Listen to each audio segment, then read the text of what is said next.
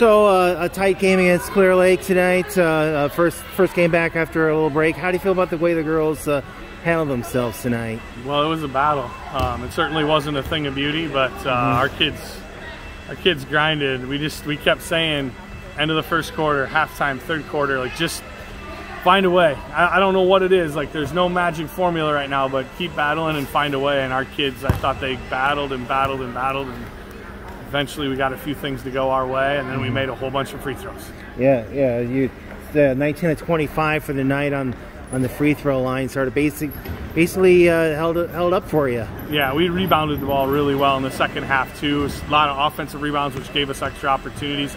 Is part of the reason why we got to the free throw line. I thought our kids did a really nice job there. Mm-hmm. And, and one of the timeouts, uh, uh, uh Coach Coach Smith had uh, basically get, read them the riot act about about giving up an, a, a, key offensive rebound there right before that timeout. Uh, uh, do you feel that maybe the girls started to get into position for you there in in, the, in that second half? Well, I mean, Caitlin's a handful all the time, and mm-hmm. Annika's just tougher than heck. You mm-hmm. know, I mean, she's how many five five, maybe five six kids can do the things she does around the rim. Mm-hmm. Um, she gets great position. She's got long arms. She's got good timing.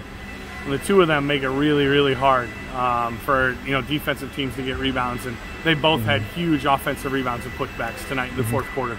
And and uh, uh, Brenna, Brenna led with 14, uh, three of five from three point range, and five of six from the from the line. And Annika 12 points, six of eight from the line. Uh, four, uh, they both they both made four four free throws in that final quarter, and when they were trying to foul to keep it close, and Caitlin had nine.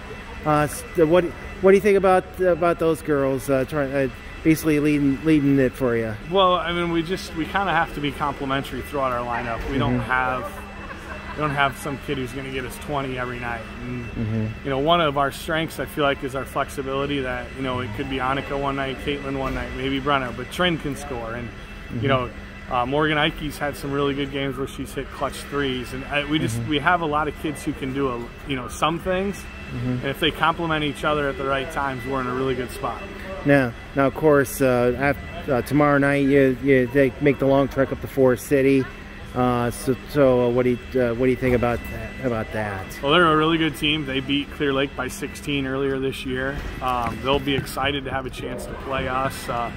You know, a little bit bigger school. Most of the teams in their league are a little bit smaller, so uh, they just look at it as a huge opportunity for them, and they got nothing to lose. So we're going to have to be ready to go despite the long trek, and uh, hopefully the cold weather allows us to get that game in. So you feel similarities? There's some similarities between you guys and the Indians. Uh, uh, with with the, with the way that you are within your your respective campuses then? Uh, yeah, a little bit. You know, the one thing that they've got is they got a Shea Dillavu, who's a 5'10", just tough kid, can rebound, score, um, finds ways to make things happen for them. And mm-hmm. if we can neutralize her, it puts us in a much better spot. Mm-hmm. Um, but they're going to give us a heck of a battle tomorrow night for sure. Okay.